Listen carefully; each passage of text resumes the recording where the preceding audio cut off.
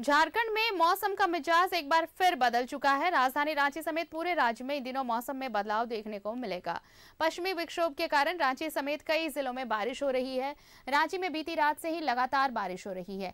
15 फरवरी तक बारिश होने का पूर्वानुमान जताया गया है। 16 फरवरी से मौसम साफ़ होने का पूर्वानुमान है।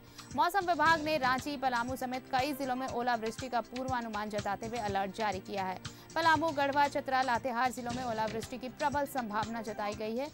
जिलों के लिए विभाग ने ऑरेंज अलर्ट जारी किया है, जबकि गुमला, लोहरदगा, रांची, कोडरमा, हजारीबाग में ओलावृष्टि की संभावना व्यक्त की गई है।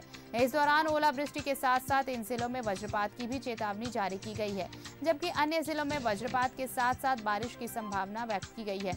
चौदह और पंद्रह फरवरी को राज्य के अलग अलग हिस्सों के लिए बारिश की संभावना जताई गई है। इसमें मुख्य रूप से राज्य के उत्तर, पश्चिमी, मध्य और उत्तर पूर्वी ज़िले शामिल हैं, जहाँ 15 फरवरी तक बारिश की संभावना है।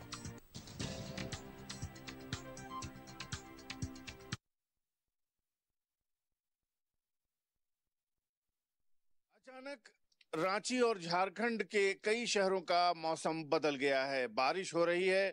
कल रात में वज्रपात के साथ बहुत देर तक बारिश होती रही है और सुबह से ये सिलसिला फिर शुरू हो गया है।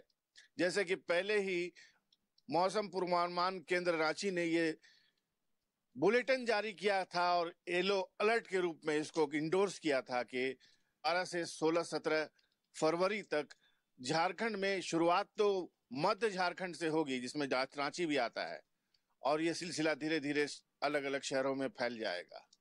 कारण पश्चिमी विक्षोभ बताया जाता है। आप देखें कि आसमान में गहरे काले बादल छाए हुए हैं, और पूरा शहर धुंध से ढका हुआ है, और इस धुंध के साथ साथ अब बारिश भी शुरू हो गई है, और बारिश का सिलसिला जो है आने वाले दो तीन दिन तक चलेगा और जिस तरह की धुंध है, मुझे लगता है कि विमान परिचालन पर भी इसका बुरा असर पड़ना स्वाभाविक है।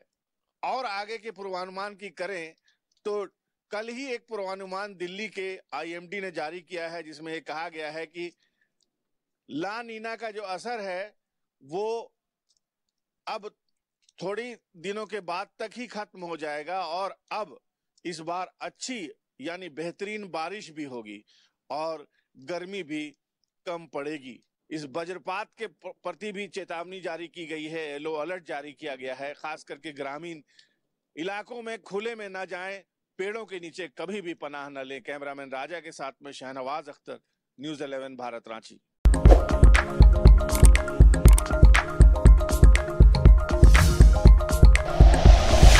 Like and share videos, subscribe करें हमारा चैनल और प्रेस करें बेल आइकॉन। न्यूज़ 11 भारत, सच है तो दिखेगा।